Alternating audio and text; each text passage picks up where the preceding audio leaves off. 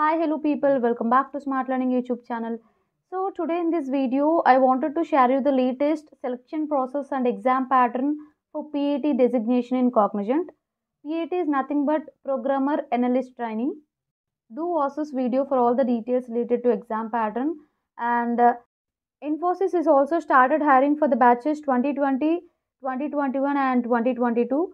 For more details like compensation, eligibility, roles and qualification, you can refer the previous video or else I'm providing that video link in this video description. So don't forget to apply for Infosys Drive and uh, if you are very new to our channel, please do subscribe and hit the bell icon so that you will get notified whenever we post a video.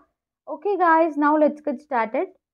So now coming to the Cognizant GenC selection process for PAT role. The selection process consists of three rounds.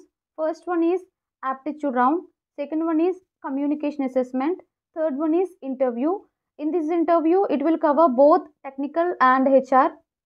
Only the people who qualified in the first round, which is aptitude round, will get the invites to attend communication assessment. As same like this, the people who cleared communication assessment will get the invites for the interview. Now let me tell you the test pattern for the first round which is aptitude round. The total time duration will be 100 minutes.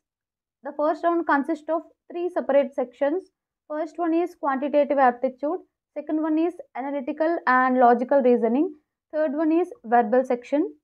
For the first section quantitative aptitude, 25 questions will be given with the time limit of 35 minutes and the difficulty of this section will be medium.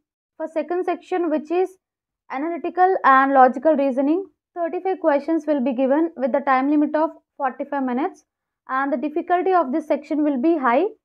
Third section will be verbal which consists of 20 questions with the time limit of 20 minutes and the difficulty of this section will be medium. This is the online test pattern and there will be no negative marking for this round. Now coming to the second round communication assessment. In this round we have three separate sections. First one is reading and grammar. Second one is comprehension and listening. Third one is speaking. The total time duration for the second round will be 45 minutes. As I specified before, this round is also an elimination round. Third round will be technical round followed by HR.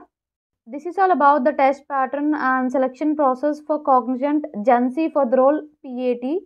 The compensation for this role will be 4.5 LPA after successful completion of probation period. While training, you will get 4 LPA as compensation. And one more important thing is candidate will be onboarded as a fresher and no prior work experience will be considered. This is only for freshers. Even if you have 1 to 2 years of experience, that will not be considered because you will be onboarded as a fresher.